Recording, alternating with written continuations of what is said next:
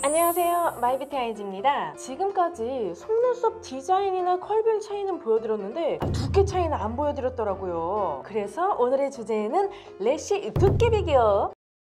두께도 얼마나 중요한데요 그렇죠. 그래서 오늘은 0.07부터 0.1, 0.15, 0.2까지 총 4가지의 두께를 비교해 보겠습니다. 제가 상담을 할 때 두께 설명을 어떻게 드리냐면요. 0.07은 그냥 원래 내 자연 속눈썹이 예쁘게 난 느낌 그냥 마스카라 안 하고 뷰러만 한 느낌 0.1은 자연스러운 느낌 화장하는 걸로 말씀드리면 마스카라 한 번 정도 한 느낌 0.15는 보편적인 두께예요. 마스카라 한 두세 번 정도 한 느낌 0.2는 좀 진하고 좀 과한 느낌 보통 공연하시는 분들이나 좀 화장 진하게 하시는 분들 대상으로 많이 해드려요. 그리고 자연 속눈썹에 무리가 갈 수 있고 유지력이 낮을 수 있어서 뭐 많이 하지 않는다는 말씀까지. 그리고 0.03이나 0.05도 있기는 한데 그런 얇은 속눈썹은 러볼 만들 때 쓰이고요. 뭐 이거 one by one으로는 사용되지 않아요. 말로 설명하는 것보다는 직접 보여드리는 게 좋겠죠?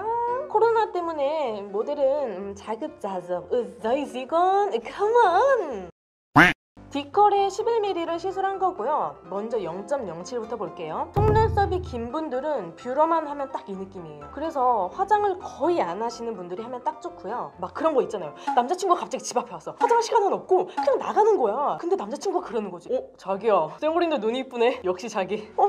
그, 그래? 그런 거 있잖아요. 그리고 0.1, 0.07보다 조금 더 진해진 느낌이 드는데요. 저는 보통 시술 처음 하시는 분들한테 제일 많이 추천해드리는 두께예요. 부담스럽지는 않은데 뭔가 예뻐진 화장을 연하게 하시는 분들한테 이 얘기해요. 그 다음 0.15, 0.15는 샵에서 제일 보편적으로 많이 쓰이는 두께인데요. 앞에 두 개보다는 확실히 좀 진한 느낌이 나죠? 이 두께는 솔직히 자연스러운 느낌보다는 아 누가 봐도 약간 화장을 한 느낌이에요. 그 아이라인을 살짝 한데 그 점막 쪽이 조금 진해졌죠? 마지막 0.2 존재감이 쫙! 점막도 확실히 아이라인을 진하게 그린 듯한 느낌이 나고요. 근데 사실 0.2는 속눈썹이 건강하거나 튼튼한 분들 아니면 웬만하면 비추. 왜냐하면 속눈썹 무게 때문에 아래로 되게 처지거든요.